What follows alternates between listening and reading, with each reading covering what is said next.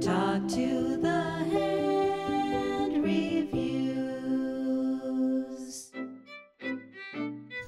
Hello! Welcome back! Guess what? Well, today I thought that maybe I would talk a little bit about apple blossoms. Since apple blossoms are used in fragrances, and I have apple trees on my property, and um, I thought that I would just cut some and bring them in and talk about them a little bit. And I researched fragrances that contain apple blossom or that uh, that say that they're apple blossom influenced. And so I have a list of 10 fragrances of the so please stick around if you're interested in that at all. And like, subscribe, slap, and holler. And thank you for joining us here on Talk to the Hand Reviews. Aren't they lovely? Apple blossoms. Now, I do apologize that I think they're ever so slightly past. You can see that some of these little guys, uh, they're, they're done. They've already had their bloom. And uh, you know what happens is that these all become apples. Every flower becomes an apple. That's kind of mind blowing, isn't it? But um, yeah, so I used to work as a floral designer, and I actually wrote a book on floral design too. Um, and flowers are a part of my life, and and I think will always be. And they also connect with that whole fragrance thing, that whole perfume thing. And now that I'm going back into uh, the world of fragrance and cosmetics, I thought, well, you know, it all really ties in. Uh, flowers are such a huge part of that. So these are apple blossoms. These are not crab. Wait a minute. No, these are apple blossoms. I also have crab apple blossoms. Um, but I missed some. They're already done blooming, but I might have the next group. So I might have crab apple blossoms to show you too. But for now, I wanted to show you my beautiful apple blossoms. I'm going to talk about some fragrances.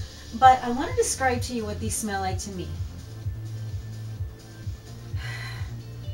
Okay, apple blossoms don't smell like apples. They're not at all the same kind of sweetness. So one of the things I do want to mention about apple blossoms is the fragrance of apple blossoms. It smells a little bit like, it doesn't smell anything like apples. It's uh, Apples are a lot sweeter smelling, or the essence of apple. What you When you go looking for a fragrance that contains the fragrance and smell of apple, it's not the same as, or it's not even similar really, to the smell of apple blossoms. And the only way I can describe what apple blossoms smell like, and also too, crab apple blossoms kind of smell like this. Um, and they all smell different. Like each apple tree has its own little, mm, but what I would say is that they smell like kind of like roses, but very soft. Like, and I can't even think really of a flower to compare it to, but it, it's just like a very soft, soft rose smell. So, what I did is I went and I researched uh, 10 apple blossom fragrances. And let's see. Okay, so first off, uh, according to Fragrantica, 10 uh, top apple blossom fragrances, or 10 fragrances that contained apple blossom essence. I don't know if it's real apple blossom essence or if it's, you know, some sort of um, uh, artificial apple blossom essence, but here it goes. Uh, number 10 was called Flor Neon Rose by Floral Street.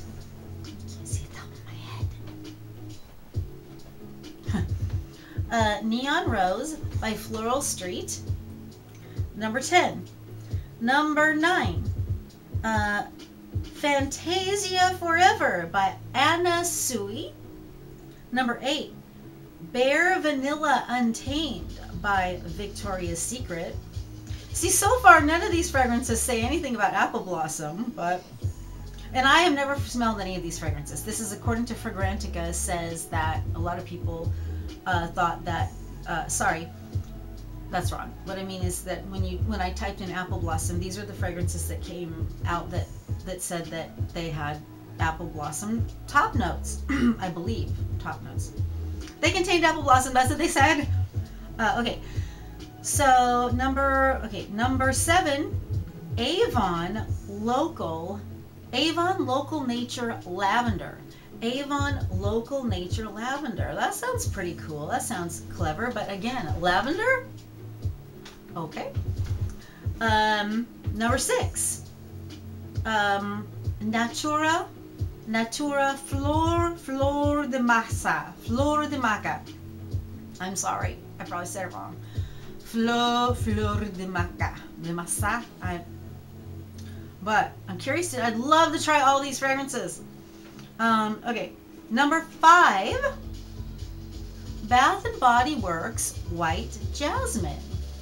I love Bath and Body Works stuff, man. It is so fun to go there and just like ah, yeah, they just have like, and, and a lot of times they have sale, like sale after sale after sale. Like, oh, but why get one when I can get five for the price of two? You know, I know you know what I mean. So that's pretty fun. Uh, so yeah, Bath and Body Works White Jasmine number five. Number four, this one I know. This fragrance I know because it's been around a while. Is Tommy Hilfiger's Tommy Girl. Ah, yes. I love Tommy Girl. I have never owned a bottle of it of my own, but I sure do love it, and I would love to have a bottle of my own. But you know what? I used to have. Uh, I used to sing with another singer on cruise ships, and she, we roomed together and she was so fun. She had and she was so stylish and incredibly talented and just like really really great. And she wore tommy girl and i never bought it because you know how it is when you have a really good friend or when you have just someone you know and for whatever reason oh that's their fragrance it's not mine I, it's always going to be weird if i ever wear it. I now it's been years and years and years I, it's been like a really really long time and so I don't associate that fragrance with anybody now, but uh, I I would have to say that yes, I think that it does seem, I can tell that it does seem like it is a fragrance that has apple blossom essence in it. It's a freshness. It's not a not a really florally. It's more of a it is floral, but it's it's like a green floral, sort of. That's what it is. It smells like a green floral. That's what this apple blossom smells like. They smell like green, crisp, light rose smell. Okay. Okay, where am I now? Is it number five? Number four, Tommy Girl, which I love. Number three, this sounds so interesting. Salvador Dali fragrance, I guess. La Belle et et l'ocelot. La belle et l'ocelot. La belle et l'ocelot. La belle et l'ocelot. I don't know what it means, but I know what ocelot means, and knowing Salvador Dali, I think it has, it probably means girl and ocelot, or something like that. But anyhow, uh, I'm excited to try it. Hey, anything that says Salvador Dali on it, like, you know, my expectations are going to be Hi. okay, so that seems fun. Uh, number two. This sounds interesting. Initio, Initio, N-I, I, I-N-I-T-I-O, I-N-I-T-I-O, Parfum, Privé Addictive Vibration. P-R-I-V-E-S, Addictive Vibration. Addictive Vibration? They get pretty crazy with these names, but like addictive vibration. Yeah, I want to try that. That sounds cool. okay, and the number one apple blossom perfume they felt uh, Fragrantica Fills, um, Chloe See. Chloe See. I've never tried it. Original Chloe, I know intimately and very, very well because it's been around forever and it was one of those back in the day when I was behind the counter and for years after the original Chloe. I had bottles and bottles of it, and I loved it, and I got compliments everywhere, and I just always felt it was just so fresh and pretty and fragrant, but never too much. Oh. And I tried the new version of Chloe, and I didn't care for it at all. It smells nothing like the old Chloe, and that's okay. It doesn't have to. But I remember the old Chloe, and ooh, it was nice. So yeah, so Oh, and I have some bonuses. I have some bonuses because I thought, well, okay, this is what they say, but none of those were called apple blossom or apple or anything like that. So I thought, well, I, I just want to look a little further, and I did find a few more. Um, Florabellio Eau de Toilette by Diptyque. It says that they it has apple blossom notes. Um, crab apple blossom, Clive Christian crab apple blossom, which, like I said, this is a this is an apple blossom, not a crab apple blossom. They are a little different, but I'll include it anyways.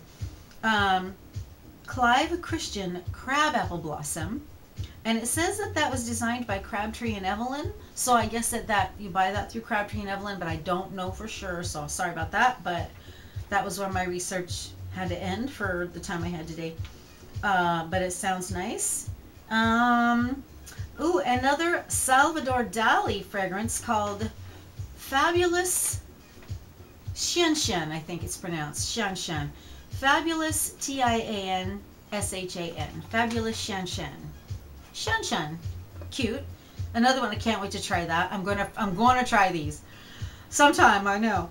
Um, and that is made by. Oh wait, did I make a mistake? Okay.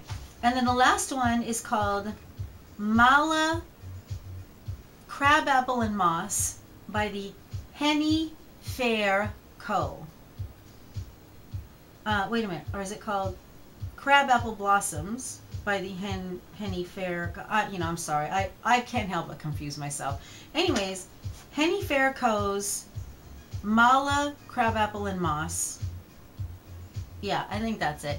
So there you go. 10 plus 4.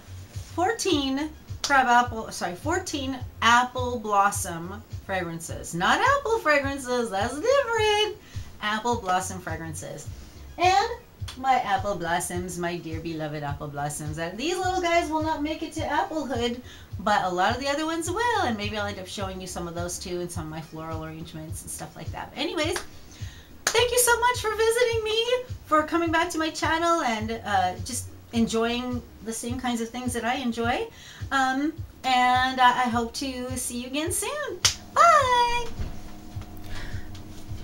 Hello. So, there are a few more things I did want to talk about with the apple blossom.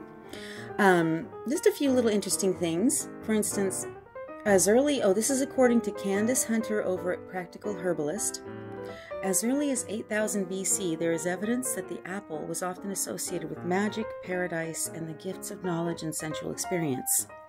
The fruit of the gods and the word Avalon is thought to be derived from an old Irish word meaning the place of apples. Unicorns have been associated with the apple tree, and word has it they love the fruits, so next time you see one, you'll know what to offer it. And you know it makes sense, right? A horsey is a horsey. You know, horsies like apples. Anyways, many famous artists have been enthralled with the apple blossom, and history has shown their homage to the fragrant flower. Here's a painting by Jasper Francis Cropsey from 1887 called Apple Blossoms. And also, uh, Claude Monet. I didn't even know this at all. I love Claude Monet. I'm I like I'm a I'm a an art fan, but I'm not a real um, student of art. Like I'm I'm a you know an armchair student, but I really really love it. But I you know I'm not really studied, but I like Claude Monet a lot. I like his impressionist style, and uh, apparently he had uh, such an affinity for uh, apple trees that he created many artworks depicting them. Here is Apple Trees in Blossom, not to be confused with Apple Trees in Bloom. That's another one of his many works dedicated to the apple blossom. There were a lot. I kind of got confused at first, and when I saw, I was like, "What? What? What? Oh yeah, apple trees in blossom. Oh wait a minute, apple trees in bloom. Oh wait a minute, and then so he really liked them. Anyhow, and many today um, love the apple blossom. And here's a contemporary artist's piece I really loved as I just went trying to find what's out there. Uh, I really loved it because it is my reality. When I cut a few branches outside and bring them in, I love the way this artist captured that.